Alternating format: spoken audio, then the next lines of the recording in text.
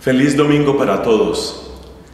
Nos hemos dado cuenta, si hemos estado en la Santa Misa los últimos domingos, que la oración es uno de los temas predilectos para el evangelista Lucas.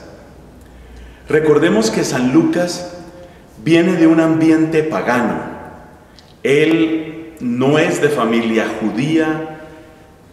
Las escrituras del Antiguo Testamento son una novedad dentro del mundo pagano, una novedad muchas veces incomprensible.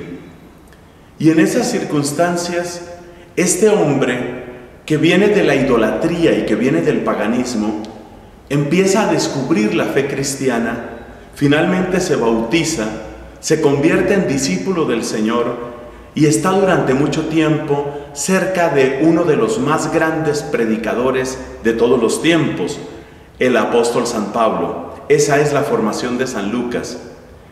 Y yo quiero destacar que para una persona que hace ese camino, una persona con ese itinerario, la oración cristiana es una enorme novedad. Yo creo que quizás nosotros, los que hemos sido bautizados desde niños y los que hemos vivido en países con una inmensa mayoría de gente católica, tal vez nosotros estamos en grave peligro de no saber valorar, de no saber apreciar lo que es tan peculiar y lo que es tan nuestro en nuestra fe cristiana. Por ejemplo, la oración.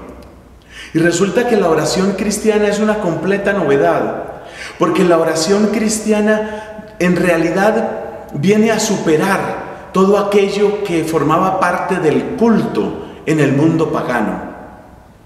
Los paganos no podían conocer, no podían saber lo que significa esta oración que es apertura del corazón de Dios y al mismo tiempo apertura de mi propio corazón.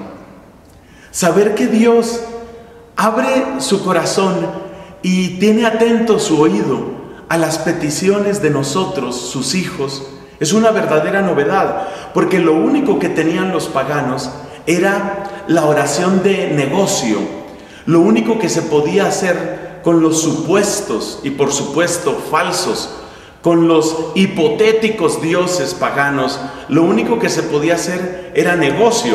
Es decir, lo único que se podía hacer era pagarles para recibir su protección.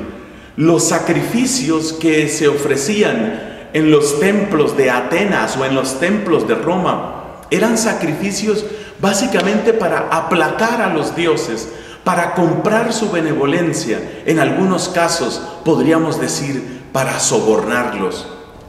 Una persona que ha conocido esa realidad, una persona que ha vivido esa realidad y que de repente descubre al Dios de la misericordia, al Dios que es Padre, al Dios que es compasivo, una persona así se fascina, se maravilla ante el regalo de la oración. Y eso fue lo que le sucedió a San Lucas.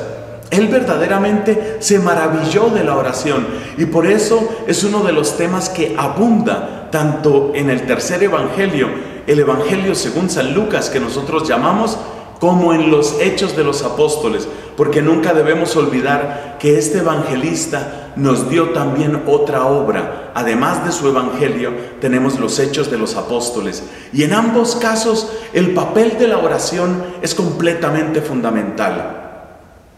Hoy, por ejemplo, encontramos que la oración tiene un atractivo especial en el corazón de Dios cuando se cuando se trata de aquellos más necesitados, los pobres, los relegados, los pecadores, los que no cuentan, esos que a ojos del mundo no tienen nada que ofrecer, esos son valiosos, particularmente valiosos parece ante Dios.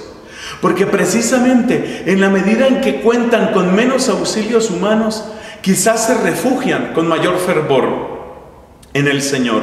Y esa oración llena de mayor entusiasmo, llena de mayor amor, indudablemente conmueve, si podemos hablar así, el corazón de Dios nuestro Padre. Que nuestra oración crezca y que crezca sobre todo esa oración humilde, esa oración llena de confianza, esa oración que sabe que más allá de mi yo está el tú de Dios.